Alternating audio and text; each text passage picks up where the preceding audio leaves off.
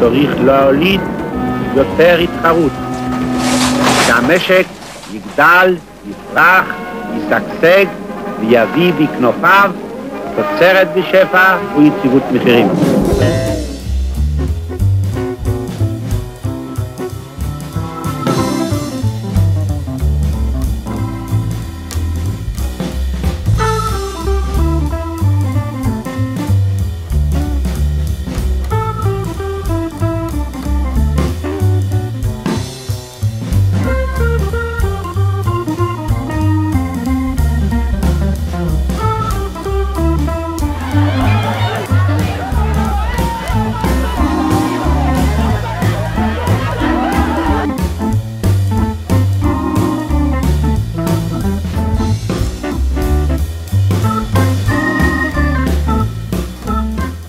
אני רואה אותנו כבורסה אה, יותר גדולה, עם היקפי מסחר הרבה יותר גבוהים ממה שיש היום.